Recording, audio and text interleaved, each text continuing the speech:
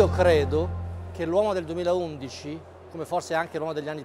eu creio que o homem de 2011, como talvez os homens dos anos precedentes e dos anos que virão, tem uma possibilidade de certeza desde que não pretendam entender esta certeza como lei de uma estratégia nossa, produto de uma construção cultural nossa, mas a certeza como a segurança original, como qualquer um de nós tem, de ter vindo ao mundo pela vontade de alguém, como qualquer um pode ver quando olha para sua própria mãe.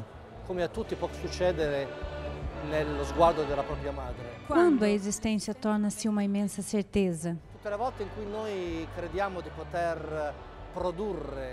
Todas as vezes que nós acreditamos poder produzir a certeza, é sempre uma certeza limitada. A plenitude da certeza é um paradoxo ao qual eu creio somente o cristianismo nos educou. No último século, também para a ciência se tornou difícil falar de certeza? Por quê? Os veri scienziati tentano, os cientistas tentam, se aproximam, mas dificilmente correm o risco de identificar totalmente sua aproximação com a estrutura, digamos assim, fixa, ontológica da realidade e, paradoxalmente, porém, isso significa que a certeza não pode ser considerada simplesmente como um produto assim, digamos duro, que se tem de uma vez por todas com uma certa medida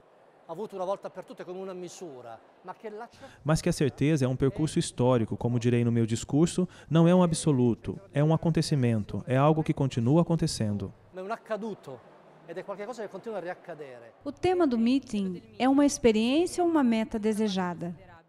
É um traguardo desiderabile, uma certeza que coincida com l'existência. É uma meta a alcançar, uma certeza que coincide com a existência, porque no fundo, pensando bem, o tema diz bem isso, e a existência que se torna certeza. Não somente que existam certezas maiores ou menores, mas que ela mesma se torne certeza, que seja imersa em um objetivo. Però io posso pensare, credo che noi possiamo pensare Porém, eu posso pensar nesta meta em virtude de um início, tímido podemos dizer, que começamos a experimentar.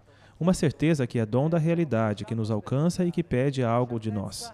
Como o dono da realidade que ci raggiunge e chiede di noi.